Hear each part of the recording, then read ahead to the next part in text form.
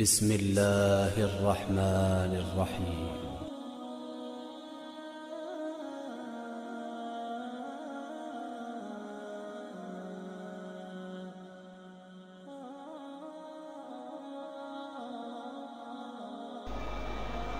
وقلنا یا آدم، ہم نے کہا، اے آدم، اسکن انت وزوجک الجنہ، رہیے آپ اور آپ کی بیوی جنت میں۔ زی آواز نیم محبوبہ درا سرا۔ جیسے ہندوستانیوں کی عادت ہے کئی بھی جا رہے بیوی ساتھ کئی بھی جا رہا یا مسئلہ پوچھنے آتے تو بھی بیگم صاحب وہ گاڑی میں بٹھا لیتے۔ ہیں تو جب ہم جواب دے تھے کہتے میں پوچھ کے آتا یا بلایا تو وہ ہمارے ایک ساتھی ہے ہوٹل چلاتے ہیں۔ تو اس نے کہا کہ ایک آدمی آیا شیرمال ہے۔ شیرمال روٹی ہوتی ہے۔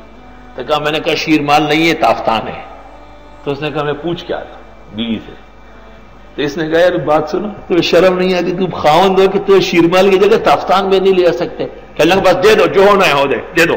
آج دے دو۔ یعنی اب بھی پتہ ہے کہ کچھ نہ کچھ ہوگا۔ کہ دے دے دے دے، جو ہو سو۔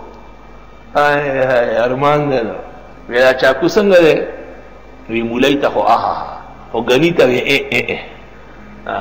دا هغه چاپی دی خزو ته کلمه نشي ویل وقلنا یا آدم، ہم نے کہا اے آدم، اسکن انت وزوجک الجنہ۔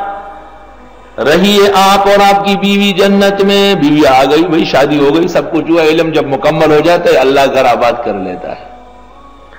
وَقُلَا مِنْهَا رَغَدًا۔ کھاؤ تم دونوں اس میں سے، کھل کر۔ سب کچھ کھاؤ۔ گھر میں جو کچھ ہے، جنت آپ کا گھر ہے۔ ہے سو شیتما جہاں تم دونوں چاہو۔ ولا تقربا حاضر شجرا لیکن نزدیک نہ جانا اس ایک درخت کے۔ فتکون من الظالمین پس ہو جاؤ گے نامناسب کام کرنے والوں میں سے۔ کیسی بہترین کتاب ہے۔ فرمایا کہ آدم کے ساتھ بیوی دونوں کو جنت بھیجا اور ارشاد فرمایا کہ جنت کی نعمتیں استعمال کرو۔ چونکہ آزمائش کی گڑی تھی۔ صرف ایک درخت کے بارے میں فرمایا کہ کھانا تو چھوڑو، قریب بھی نہ جاؤ۔ پہلی بات یہ کہ یہ جنت کون سی ہے؟ جمہور اہل سنت کے نزدیک یہ موعود جنت ہے۔ خدا تعالیٰ کے لیے اوپر نیچے قبل الموت، بعد الموت سب برابر ہے، اس کی قدرتوں کے سامنے کوئی رکاوٹ نہیں۔ معتزلہ اور مودودی یہ کہتے ہیں کہ یہ جنت دنیا میں زمین پر کہیں تھی، بعد میں ختم کر دی گئی۔ بلا دلیل و بلا برہان عقلی ڈکوسلا عقلی ڈکوسلا اور پھر دیکھو بات سنو۔ آدم علیہ السلام کو جنت اس لیے بھیجا کہ ابنائے آدم کو جنت کی ترغیب دی جائے اگر جنت ہی دوسری ہے تو ہمیں ترغیب کس بات کی؟ وہ جنت تو ختم ہو چکی۔ ہے ترغیب یوم القیامہ ابنائے آدم کو جنت کی تب معتبر ہوگی کہ جنت وہی ہو جس میں حضرت آدم گئے حدیث میں ہے، جنت تمہارے باپ کی وراثت ہے ایمان و عمل بحال کر کے اس کو پاؤ۔ یہ کہنا کہ جی آسمانوں میں کیسے گئے، وہی کس کو کہہ رہے ہو، کیسے ویسے؟ یہ تو خدائی نظام ہے۔ آدم پیدا کیسے ہوئے یہ تو دیکھ۔ ہوا بنی کیسے ہیں؟ یہ تو دیکھ۔ اتنا خلقت منزل علیہ آدم سو رہے تھے، بائیں پسلی پر پسینے آئے اور ہوا کڑی ہو جب حضرت عیسیٰ کے بارے میں نجرانیوں نے کہا کہ اس کا باپ کون ہے، جب نہیں ہے تو کوئی بتاؤ بغیر باپ کے، تو قرآن نے کہا، ان مسل عیسیٰ عند اللہ کا مسل آدم.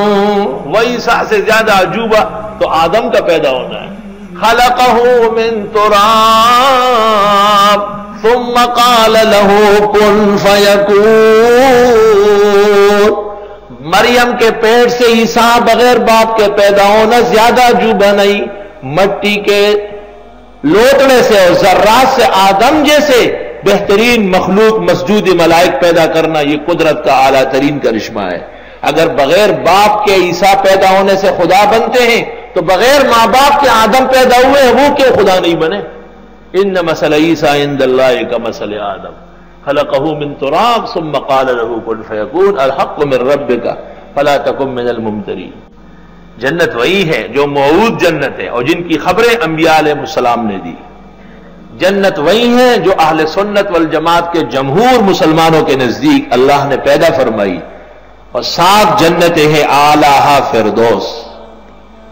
حضرت فرماتے ہیں، حدیث میں تم اللہ سے جب جنت مانگو، فردوس مانگو، مجھے امید ہے اللہ مجھے اور میری ساری امت کو جنت الفردوس نصیب فرمائے گا۔ مطلب یہ کہ دعا تم کر لو، سفارش میں کروں گا۔ اور دے گا اللہ۔ اللہ تعالیٰ جنت الفردوس اپنے فضل و اقسام سے نصیب فرمائے۔ ولا تقربا شجرا نزدیک نہ جانا اس درخت کے۔ درخت کون سا تھا؟ مفسر کو جو درخت پسند تھا۔ سرحد والوں نے کہا گندم کا تھا۔ اور ایرانیوں نے کہا انار کا تھا۔ اور اربوں نے کہا کجور کا تھا۔ کسی نے کہا انگور کا تھا۔ وہ بابا مفتی محمود کہتے تھے شجر ممنوع ایک ایسا درخت جس کے پاس حضرت آدم کا جانا منع ہے۔ بعض کہتے ہیں کہ یہ گندم کا دانا اس پہ جو یہ نشان لگا ہوا ہے، یہ حضرت ہوا کا ناخن ہے، ناخن سے کاٹا۔ اور یہ اتنا بڑا دانا ہوتا تھا خربوزے کے برابر۔ آدھا خود کھایا اور آدھا میاں جی کو دیا۔ اور ابلیس کیسے آیا؟ او ہو ہو۔ وقاسم ہوما انی لکما لمن الناسین آراف، دوسرا رکو۔ قسمیں کھائی، میں تمہارا خیر خواہ ہوں۔ میں آپ کو ایک ایسا درخت بتاتا ہوں جس میں سے کھاؤ۔ یا تو ہمیشہ رہو گے او تکونا من الخالدین، یا فرشتے بن جاؤ گے یا ہمیشہ جنت میں رہو گے۔ تو حضرت آدم اور حضرت ہوا بھول گئے۔ قرآن کہتے ہیں نسی آدم، حضرت آدم بھول گئے۔ ولم نجد لہو ازما ہم نے ان کو پختہ نہیں پایا۔ کیا مطلب؟ یعنی یہ کام انہوں نے ارادتن نہیں فرمایا ہے۔ یہ مطلب ہے، ولم نجد لہو ازما بھول گئے، پختہ نہیں پایا۔ جیسے آپ کسی کو کہے کہ وہ بھول گیا ہے قصدن نہیں کیا ہے۔ یہ مطلب ہے آیت۔ یہ نہیں کہ حضرت آدم پختہ کار نہیں تھے۔ پیغمبر کیسے ہوئے جو پختہ کار نہیں ہے؟ نسی آدم و نسی ضروری ہے بھول چوک شروع ہو گئی۔ فلم الشجرہ۔ جب انہوں نے اس درخت میں سے چکا کھایا بھی پورا نہیں، چکا۔ بدت لہما سو آتہما نظر آنے لگی ان کو شرم گائیں وَتَفِقَا يَخْصِفَانِ عَلَيْهِمَا مِنْ وَرَقِ الْجَنَّةِ. جنت کے پتے توڑ توڑ کر اپنے جسم پہ رکھتے ہیں، کپڑے اتر گئے۔ وَقَالَ أَلَمْ أَنْهَكُمَا أَنْ تِلْكُمَ الشَّجَرَا۔ اللہ نے فرمایا، میں نے دونوں کو منع نہیں کیا تھا اس درخت سے۔ وَأَقُلْ لَكُمَا، کہا نہیں تھا تم دونوں سے ان شیطان لکما عدو مبین کہ شیطان تم دونوں کا واضح دشمن ہے، کیونکہ تمہاری برتری اس کو برداشت نہیں اور تمہارے سجدہ نہ کرنے سے وہ لانتی ہو چکا ہے، اس لیے وہ تمہارے ساتھ دشمنی کرے۔ ہمیشہ دشمن نقصان پہنچاتا ہے۔ وَلَا تَقْرَبَا هَذِهِ نزدیک نہ جاؤ دونوں اس درخت کے۔ اس سے اشارہ معلوم ہوا کہ گناہوں کے دوائی بھی گناہ ہے صرف زنا گناہ نہیں اجنبیہ سے میل جول، اس کو دیکھنا، اس کے ساتھ ٹیلی فون اس کو آنا جانا، اس کو یاد کرنا، یہ سب کے سب سبب بنتے ہیں نا۔ دوائی لا تقربا، نزدیک بھی نہ جاؤ۔ قرآن میں یہ نہیں ہے کہ زنا مت کرو، لا تقرب الزنا۔ زنا کے قریب نہ جاؤ۔ حدیث میں ہے، جو چراگاہ کے آس پاس چرتا ہے، خطرہ ہے کہ اندر چلے جائے۔ جو بے احتیاطی کرے گا، وہ اس میں واقع ہوگا۔ ولا تقرب هذه الشجره فقہا نے اس سے اصول نکالا ہے۔ سد الحاجات۔ سد الذرائع۔ خسم المادت الفساد۔ فساد کا مادہ کاٹو۔ ذرائع روکو۔ اختلاط مرد و زن کا منع ہے۔ خواتین کا مسجدوں میں آنا منع ہے۔ خواتین کا رجال کے ساتھ مل بیٹھنا منع ہے۔ خواتین کا بغیر چادر کے گھر سے نکلنا منع ہے، خواتین کا مردوں سے الیک سلیک منع ہے، خواتین کے ایسے خوشبو جس میں مہک کو وہ منع ہے۔ یہ منع ہے منع ہے کیوں؟ تاکہ بڑا عذاب نہ آئے، بڑا گناہ سرزد نہ ہو جائے۔ فضل شیطان ازل یو ذلو کے معنی آتے ہیں اوپر سے نیچے لانا۔ اصل میں زل یا زلو کے معنی آتے ہیں پاؤں پسلنا تو آدمی کھڑا رہتا ہے نا، جب پاؤں پسل جاتا ہے تو نیچے چلے جاتا ہے۔ ہائے عربی کیا عجیب زبان ہے۔ فاضل شیتان عنہا پس اتار لایا ان دونوں کو شیطان جنت سے۔ ہائے ہائے ہائے فاخرجہما مما کانا فی پس نکال لایا ان دونوں کو ان نعمتوں سے جن میں وہ تھے۔ ایک مقام سے زوال ہے اور ایک جنت سے خروج ہے۔ تو مقامات سے زوال کو ازل سے ذکر کیا اور جنت سے نکلنے کو اخرج سے۔ وَقُلْ نَهْبِتُوا بَعْضُكُمْ لِبَعْضٍ عَدُوٌّ ہم نے کہا، اترو باس تمہارے پاس کے ساتھ دشمنی کریں گے۔ تنظیمیں لڑے گی دہشت گرد وجود میں آئیں گے۔ زمین پر لوگ مر رہے ہیں، جائیداد پر قتل ہو رہے ہیں، باپ بیٹے مارے جا رہے ہیں۔ استغفر اللہ۔ فتلقا آدم من ربه کلمات پس سیکھ لیے آدم نے رب کی طرف سے چند کلمے۔ فتاب علیہ۔ پس اللہ نے ان کی توبہ قبول کی، یہ چوتھی نعمت ہے۔ انہو هو التواب الرحیم۔ بے شک وہ خوب توبہ قبول کرنے والے، رحم کرنے والے ہیں۔ یہ کلمات کون سے ہیں؟ مشہور یہی ہے قرآن کریم کے مطابق ربنا ظلمنا انفسنا وان لم تغفر لنا وترحمنا لنکونن من الخاسرین۔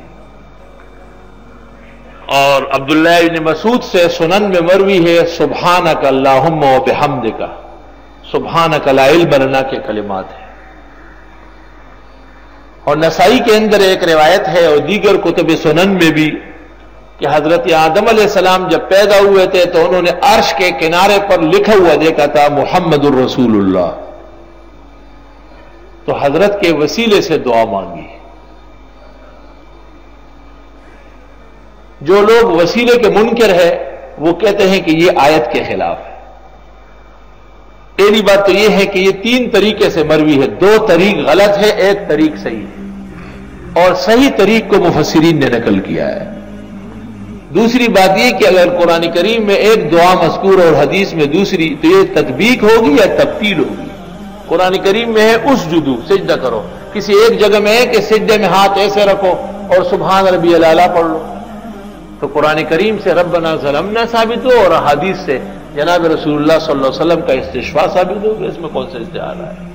اللہ معلوسی رحمت اللہ علیہ نے روح المانی میں اس جگہ اس کو نقل کر کے فرمایا کہ قرآن کریم میں عیسیٰ علیہ السلام کو کلمہ کہا گیا ہے۔ ہمارے پیغمبر کو اگر کلمات کہا جائے تو فور روح العظم، وہ تو روح اعظم اور کلمات کا کلمات ہے۔ بارہ مفسرین کے ہاں یہ ثابت ہے۔ وسیلے کا مسئلہ اپنے مقام پر آئے گا۔ فتلقا آدم میں رب ہی پر سیکھ لیے آدم علیہ السلام نے رب سے کلمات ان چند کل میں فتح علیہ پس اللہ نے ان کی توبہ قبول کی، معلوم ہوا کہ توبہ کرنے کا بھی طریقہ ہے۔ توبہ توبہ کافی نہیں ہوتا۔ توبہ تب ہو کہ اس کے لیے کلمات ہو، اس کے لیے اعمال ہو، اس کے لیے انابت اللہ ہو، اس کے لیے رجوع الحق ہو، اس کے لیے انحراف عن الباطل ہو۔ تب جا کے توبہ توبہ ہے۔ چالیس سال بعد حضرت آدم کی توبہ قبول ہوئی چالیس سال تک حضرت پریشان تھے۔ بعض روایات میں دو سو سال ہے، لیکن وہ کمزور ہے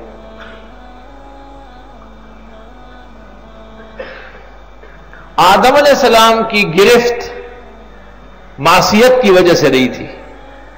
وہ تو اللہ نے فرمایا نسیا آدم۔ صورت معصیت ہے۔ اور کبار اور اعزام کی گرفت صورت معصیت سے بھی ہوتی۔ ہے جیسے آپ ایک شاگرد کو آواز دے رہے ہیں، وہ نہیں سن رہے تو آپ خفا ہوگا حالانکہ آپ کو پتا ہے کہ اس نے سنا نہیں۔ کہ اتنے بے خیالی میں کیوں کھڑے آپ؟ حسنات الابرار سیات المقربین۔ نیک لوگوں کے جو نیکیاں ہیں، عام لوگوں کی وہ بڑے لوگوں کے بارگاہ میں گناہ سمجھا جاتا ہے۔ اللہ بتو منہا جمین ہم نے کہا، اترو یہاں سے سارے کے سارے، یا تو سام مور بھی ساتھ ہے، اور یا احترام آدم و ہوا کو جمین کہا۔ فہما یاتی ان کو منی ہوتا بس جب کبھی آئے تمہارے پاس میری طرف سے ہدایت فمن طب ہدایا بس جو کوئی اتباع کر لے میری ہدایت کی، فلا خوف نہ کوئی خوف نہیں ہوگا ان پر۔ فلاحم یا نہ وہ غمگین ہوں گے۔ قاعدہ ذکر کیا کہ زمین پر جاؤ، وہاں میں ہدایت بھیجوں گا۔ انبیاء علیہ السلام کے ذریعے۔ جو ہدایت کے پیروکار ہوں گے، وہ دونوں جہانوں میں بے خوف و خطر ہوں گے۔ اور ولدین کفر و قزب آیاتنا وہ لوگ جنہوں نے کفر کیا اور تقزیب کی ہماری آیتوں کی الائے کا صاب النار، یہ دو ذخیے ہم فیا خالدون، یہ ہمیشہ رہیں گے اس میں۔ ایک خوف ہے اور ایک حزن ہے۔ خوف اس کو کہتے ہیں کہ آپ کا کوئی آدمی بیمار ہے۔ آپ آپ ڈرتے ہیں کہ یہ مر نہ جائے گا بیماری بڑھ نہ جائے۔ تخاف والے اور حزن اس کو کہتے ہیں کہ وہ مر گیا اور آپ غمگین ہیں۔ تو الخوف بما بما سیاتی۔ الخوف بما یاتی والحزن بما مدوا گزرے ہوئے صدمے پر حزن ہوتا ہے اور آنے والے پر خوف ہوتا ہے۔